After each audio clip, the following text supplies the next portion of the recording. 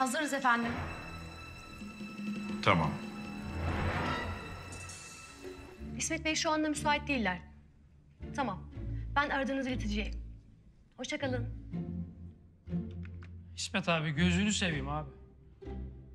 Öncelikle İsmet değil, İsmed. D harfiyle bitiyor. Biliyorum. Sanki bir şeyin kısaltması gibi.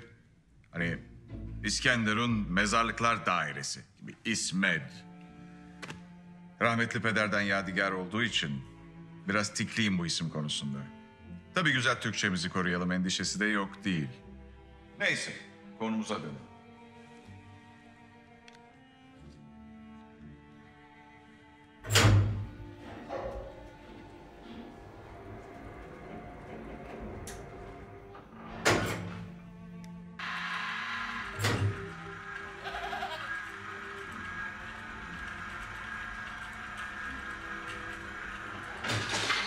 Gözlerindeki soru işaretlerini görebiliyorum.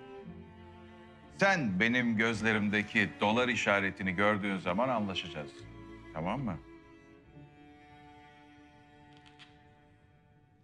Hayat bize iki yol sunar. Herkes zanneder ki seçtikleri kendine aittir. Oysa yanlış. Vazgeçilendir kendine ait olan. Seçtiklerin değil, vazgeçtiklerin seni belirler güzel kardeşim. Ne dedik? Hayat bize iki yol sunar dedik. İsmet abin senin güzel hatrın için bunu üçe çıkardı.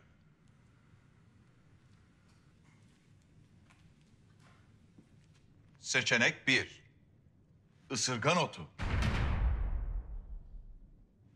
Anüsüne sürerim. 40 dakika içinde bülbül gibi ötersin. Tecrübeyle sabit.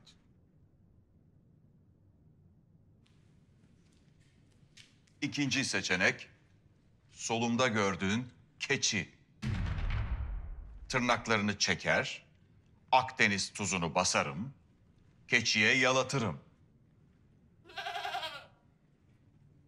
Üçüncü seçenek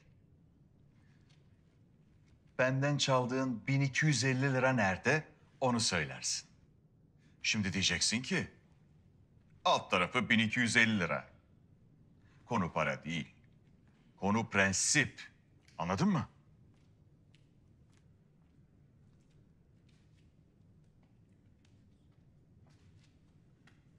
Hadi dua et.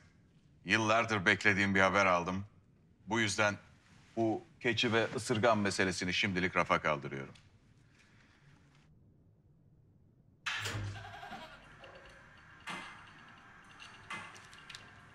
Eminsiniz değil mi?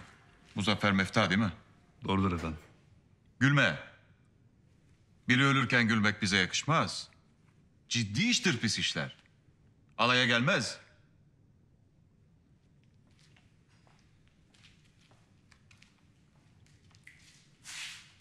Einstein'ı tanır mısın? Şimdi çıkaramadım abi. Esnaftan mı bizim?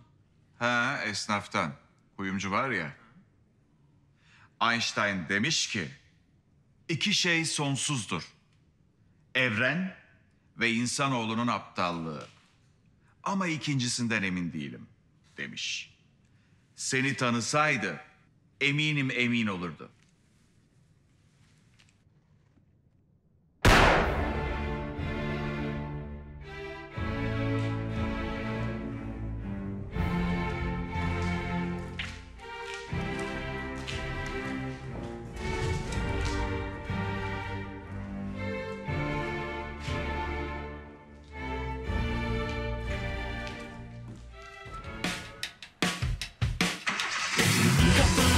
Sıkacak mısın bedeli